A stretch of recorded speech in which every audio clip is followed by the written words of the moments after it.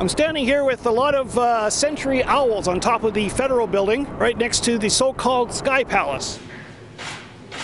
This is the uh, penthouse retreat, former Premier Alison Redford.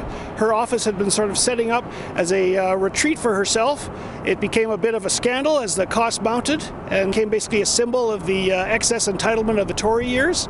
It uh, was rejigged into a very Spartan uh, meeting space. It was opened about a year ago It was only at the start of 2016 that the construction permits lifted and the three boardrooms could be used. The main components of the penthouse were completed before the government called off the Premier's Den project.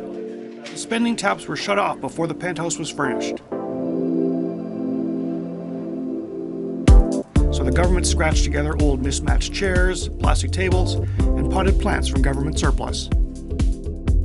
What was supposed to be the living room is now the main boardroom. The recessed bookcases remain empty, except for a few old bound copies of Legislature Effluvia. One of the two bedrooms is now a smaller conference room. The main bedroom has now been converted into an informal sitting area, with high back chairs and the old couch from Premier Redford's office. The end tables are also from her office. It includes a panoramic view of the downtown out to the far east end of the city. So far, the penthouse suite is basically unused and unloved. Premier Rachel Notley's office reports there have only been a couple of government meetings there.